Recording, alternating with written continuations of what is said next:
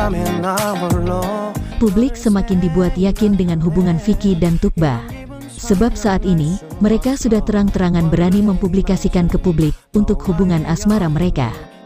Ini bisa terlihat saat Tukba membacakan dongeng kancil kepada Vicky sebelum tidur, sebagai tanda sayangnya ke Vicky. Sebuah hal yang sering dilakukan oleh orang tua kepada anaknya. Pertama, setelah semua anak ayam berhasil naik ke tubuhnya, kancil pun melompat kelu- keluar lubang dan Ini membuktikan jika Vicky sangat manja dengan Tukba. Tukba juga nampaknya saat ini sudah mulai fasih dalam bahasa Indonesia.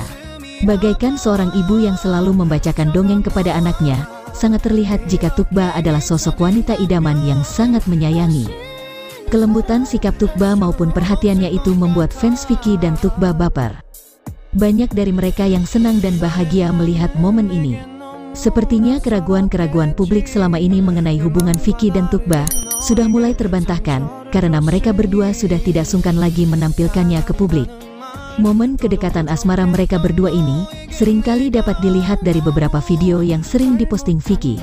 Banyak clue-clue yang memperjelas jika Vicky memang sudah menaruh perasaan cinta dengan Tukba pada pandangan pertama saat mereka pertama kali berjumpa langsung di Turki. Ibarat kata pepatah, cinta itu turun dari mata, terus ke hati. Namun apa pun itu, warganet selalu mendoakan yang terbaik buat hubungan mereka.